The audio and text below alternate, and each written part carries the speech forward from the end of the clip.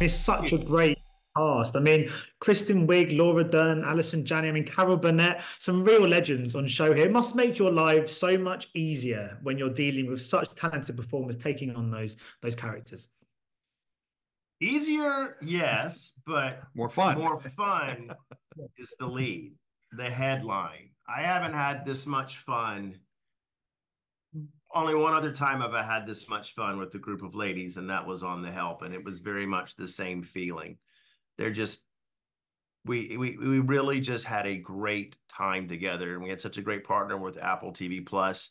Everybody was allowed to, every department head was allowed to just do their thing. No one got in each other's way. We stayed in our lanes, and it just all came together uh, naturally and organically, and it was fantastic. I mean, that sort of fun really emanates off the screen. But at the same time, there's something quite sad as well about the character Maxine. I mean, this notion of someone kind of aspiring to live somebody else's life is, I mean, just do you, do you think that character, despite the fact, obviously, it's kind of dressed up in such a kind of stylistic show in many ways, but there's a lot of substance to to her too, isn't there? Well, yeah. I mean, I, I'll be the first to admit I've got Maxine in me. We can all we all compare ourselves to others, which is foolish, but we can't help it and what I love about the show is it, it's Maxine wanting to go to the other side of the fence where the grass is greener. She jumps over that fence, stands on the grass with the people who are there, and realize they're not happy there either. So this show, we just keep jumping fences, and it's such a life lesson to be grateful for what you have and and and uh, seek seek being content. It's a hard thing to do, and our show's about that. Yeah, and I because I, I, mean I loved uh, so I love Maxine's kind of ambition. I actually find ambition can be quite a vulnerable thing to show. Do you think we have a habit in kind of modern society of squashing ambition too much? It can be considered quite an ugly trait. So a lot of people refer can sort of conflate it with kind of being quite desperate or being thirsty or something like that. But do you think actually ambition can be can be quite a good thing?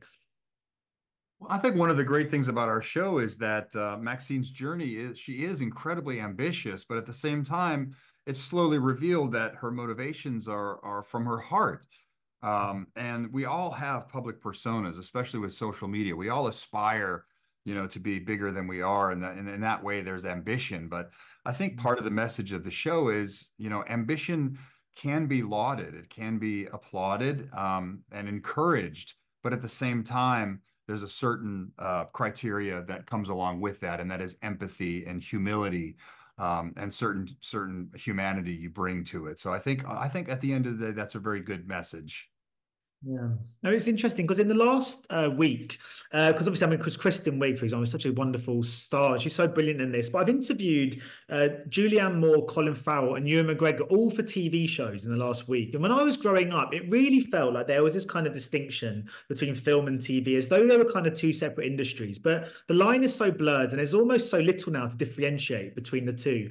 As creatives in this industry, how exciting is it to have such an array of opportunities with such a wealth of stories? Stories on so many different platforms, all available now to audiences. What I like about it, you know, I, I first and foremost, I love I love making films, but for me to have a season, I view this show as a ten hour feature film.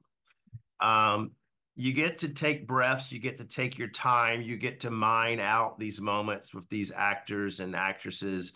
But yeah, it's just crazy the people who want to come play and are willing to. Um, I've worked with Colin Farrell. He, I just saw him a little while ago, and it's just so cool. And um, and you know, our business is changing. We all have to pivot daily. It seems like, but it's it's just it's fantastic.